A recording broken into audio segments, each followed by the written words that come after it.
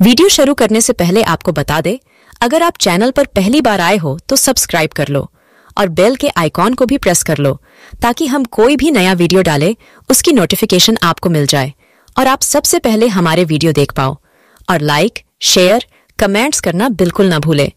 अगर आप लंबे समय से नया स्मार्टफ़ोन खरीदने की सोच रहे हैं तो बता दें कि हाल ही में वीवो द्वारा भारतीय बाज़ार में नया स्मार्टफ़ोन लॉन्च कर दिया गया है, जिसका नाम वी ट्वेंटी नाइन ई है।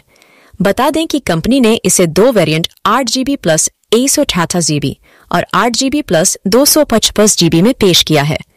वही बात करें इसके 128 जीबी स्टोरेज वाले वेरिएंट की तो इसकी कीमत 26,999 रुपए है। जबकि इसके टॉप एंड वेरिएंट के लिए ग्राहकों को 28,999 खर्च करने होंगे। इसके कलर वेरिएंट की बात करें तो बता दें कि कंपनी ने इसे आर्टिस्टिक रेड और आर्टिस्टिक ब्लू कलर ऑप्शन में पेश किया है। वहीं इसके प्री ऑनर्डर आज से शुरू हो चुके हैं। जानकारी के लिए बता दें कि 7 सितंबर से इसकी सेल शुरू हो जाएगी।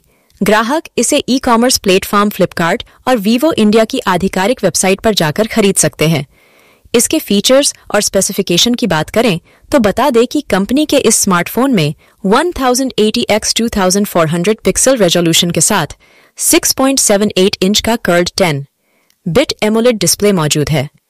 जो full H plus display 120 H के रिफ्रेश रेट को सपोर्ट करता है। बता दें कि इस फ़ोन में ऑनफर किए जा रहे इस डिस्प्ले का पीक ब्राइटनेस लेवल 1300 निट्स का दिया गया है। यह हैंडसेट इस सेगमेंट का सबसे स्लिम डिवाइस बताया जा रहा है, जिसकी चौड़ाई केवल 7.57 mm है। यह फ़ोन 8 जीबी रैम और दो सौ जीबी तक के इंटरनल स्टोरेज ऑप्शन में उपलब्ध है। बात करें इसके प्रोसेसर की तो बता दें कि यह स्नैपड्रैगन 695 चिपसेट से लैस है। वहीं फोटोग्राफी के लिए फ़ोन के रियर में एलईडी फ्लैश के साथ कैमरा सेटअप दिया गया है, जिसमें 64 मेगापिक्सल के मेन लेंस के साथ एक 8 मेगापिक्सल का अल्ट्रा वाइड एंगल लेंस शामिल है। बता दें कि फ़ोन का मेन कैमरा ओआईएस सपोर्ट के साथ उपलब्ध है, और सेल्फी के लिए कंपनी इस फ़ोन में 50 मेगापिक्सल का फ्रंट कैमरा मौजूद है। बैटरी की बात करें तो पावर के लिए कंपनी ने इसमें 5000 माह की बैटरी दी है जो 44 वॉट फास्ट चार्जिंग सपोर्ट करती है।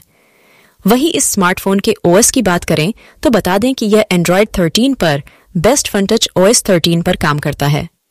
सेफ्टी के लिए इसमें इन डिस्प्ले फिंगरप्रिंट सेंसर दिया गया है जबकि कनेक्टिविटी के लिए dual SIM 5G, dual band wifi Bluetooth 5.1 और यूएसबी टाइप सी पोर्ट जैसे ऑप्शन उपलब्ध है।